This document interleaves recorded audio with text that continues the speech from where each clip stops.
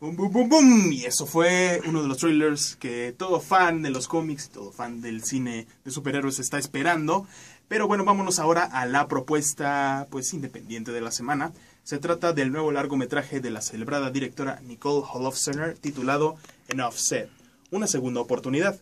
Y trata de la historia de Eva, quien es una madre soltera, quien pues está sufriendo un poquito los achaques de la mediana edad, todas estas crisis. Eh, ella es una masajista, pero pues no encuentra una satisfacción real en sus clientes y su hija pues ya se va a la universidad, así que está contemplando, pues ahora qué hago, ¿no? Este, pues cuál es mi propósito ahora. Pero después conoce a Albert, quien es un afable, simpático y pues muy tierno señor, que tiene también unos gustos muy en común con ella y que pues le enseña a ver la vida pues en otros ojos, ¿no? En algo mucho más festivo, mucho más alegre, y la relación va viento en popa hasta que Eva se encuentra con una de sus pacientes llamada Marianne.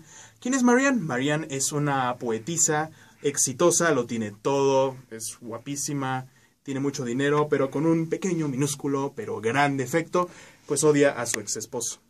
Y bueno, eh, toda la película trata de este vaivén, este zigzag como de, de dilemas que tiene Eva, ¿no? Por un lado tiene al optimista Albert y también tiene a Marianne, quien es una cínica y le da unos consejos bastante dudosos del amor. Entonces, pues la película sigue un poquito estos temas de pues la soledad, de la crisis de la mediana edad.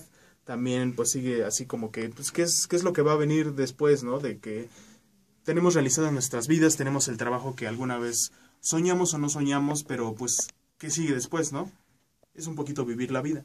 Y pues el reparto se encuentra encabezado por Julia Louis Dreyfus, a quien recordamos por su papel de Elaine en la mítica comedia de televisión Seinfeld.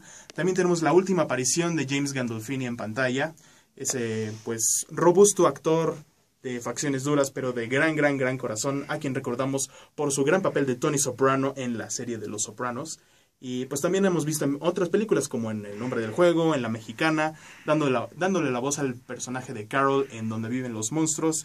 Y también está Catherine Keener, quien es una de las actrices predilectas de Nicole Holofcener, quien pues es una pionera del cine independiente que trata pues temas que se van orillando un poquito al feminismo y pues a los, a los dilemas que se encuentra ese oscuro personaje misterioso que todos llamamos mujer. Pero bueno, vámonos a ver el trailer de Enough Said, una segunda oportunidad.